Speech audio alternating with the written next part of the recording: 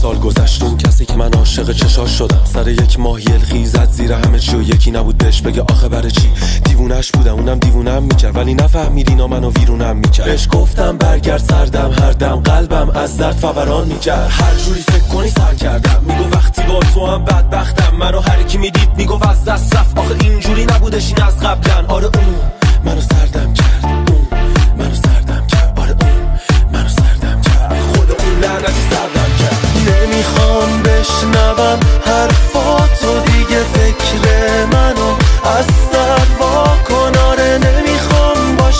اصلا با